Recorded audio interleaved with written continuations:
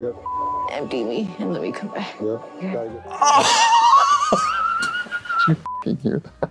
Did you I say? it. I She said, it. empty me and let me come back. I usually say, fill me and let me leave. I hate it here. Oh, it's I hate TV. It's horrible. I hate TV. You're in your third trimester with a shit baby. when that turn comes out, Oh, gray, bright gray.